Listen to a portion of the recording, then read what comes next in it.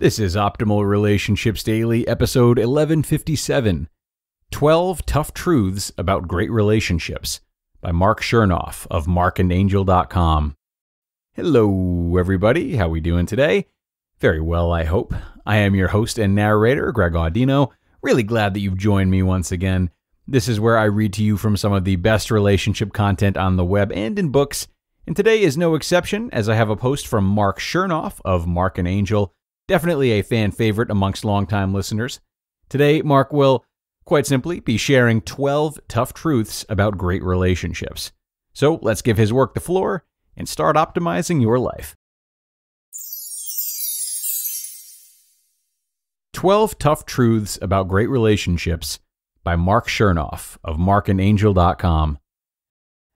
Our media culture, with its happily ever after fairy tales, often creates the expectation that life is supposed to be like an endless day at Disney World. And nowhere does our media culture present a more skewed set of expectations than around intimate relationships. We are swayed to believe a great relationship is all sunshine and roses, despite the fact that most of us have witnessed firsthand the difficulties and disagreements our parents struggled through when we were kids. Just as life isn't perfect, Intimate relationships aren't either. They require effort and compromise. They require two people to practice patience and presence, and thoughtfully extend themselves for the sake of the other. They require us to redefine the fairy tale story of love that our media culture has attempted to brainwash us with. It's time to take a stand and acknowledge the fact that we've been fed lies.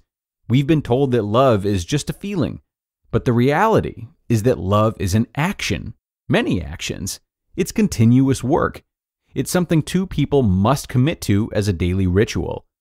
When you're able to accept this new reality and get past the damaging lies about things needing to be perfect all the time, you make room for the true joy of engaging deeply in a great relationship, which holds a powerful, flexible space that widens itself to accommodate the necessary struggles. Here are 12 tough truths about great relationships. Number one, a soulmate is really just a loving partner who's willing to work with you. To say that one waits a lifetime for their soulmate to come around is a bit of a paradox.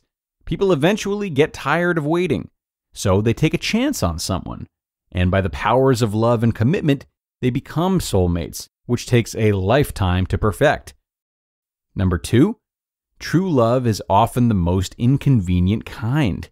Again, it takes two people who truly, truly want to work together every day, compromises and all, to build something special. That's what great relationships are all about daily teamwork. Number three, there will be lots of little issues.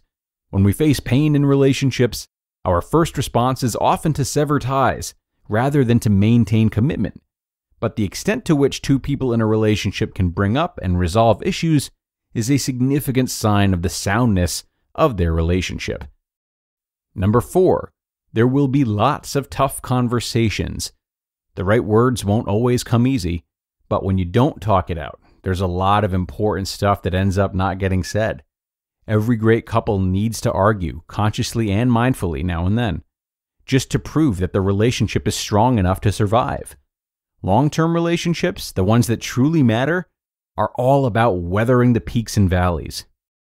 Number five, conscious, mindful communication is necessary, but takes practice. You can measure the happiness of an intimate relationship by the number of scars that each partner carries on their tongues, earned from years of biting back angry, unhelpful words. Number six, there will be more honest misunderstandings than you'd like. When it comes to understanding your partner, deal with them as they are not how you'd like them to be. Read the five love languages. Number seven, there will be lots of apologies and necessary forgiveness. Love is living your own life, but sharing it. It's forgiveness. It's making a million little mistakes with each other and turning them into learning experiences. Love is patience, optimism, and sometimes it's a simple kiss when there's nothing left to say. Number eight, Partners can't force changes in each other. People can only change themselves. Instead of trying to change your partner, give them your support and lead by example. if there's a specific behavior they have that you're hoping fades over time, it probably won't.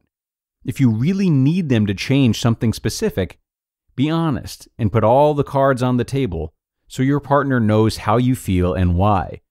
But keep in mind that the best way to love someone is not to change them, but instead to help them reveal the greatest versions of themselves. Number nine, a great relationship isn't needy. In a great relationship, you love each other more than you need each other. Number 10, even the greatest relationship won't completely fix you. If you're not happy with yourself or comfortable with your own truth when entering a relationship, there's a good chance you're not ready for that relationship. Work on loving yourself first. Angel and I discussed this in more detail in the self love chapter of 1000 Little Things Happy Successful People Do Differently. Number 11. Some people won't support your relationship, no matter how great it is. Great relationships don't always make sense, especially from the outside. And number 12.